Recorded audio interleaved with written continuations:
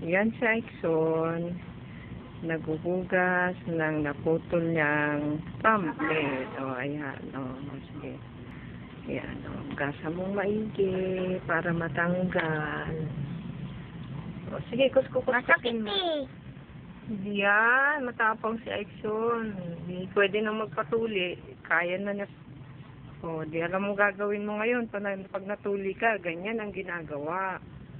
Ganito. Oo. Lalo yung ti, lalo yung titi yun.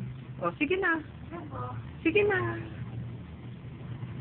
Anong gamit mo? Kamay. Safeguard.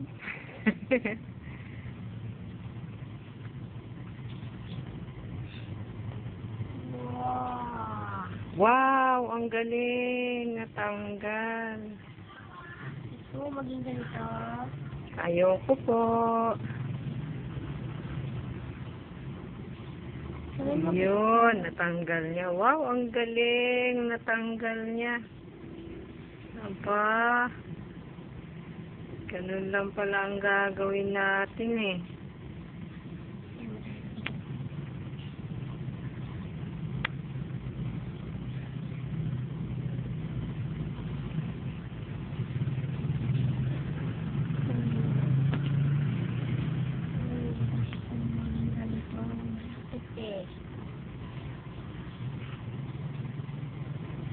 Panood ko mamaya kay Papa.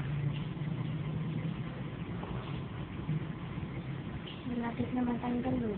Very good. Tapang.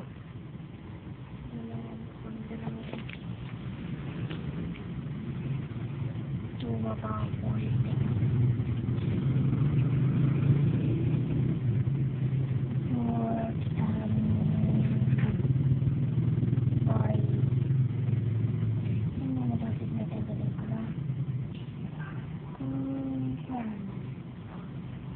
Yun, natanggal. Wow, natanggal. Aba, ang galing. Yun. Yay! Isa na, dalawa na lang, dalawa na lang. Success! Pwede na tawagin yung kan. Oo, pwede na. Ayaw ko. Lilinisan at ako coveran na lang eh. Bili pa ako ng microphone para may pang-cover tayo. Aray. Yay! Tanggal na. Tanggal na po.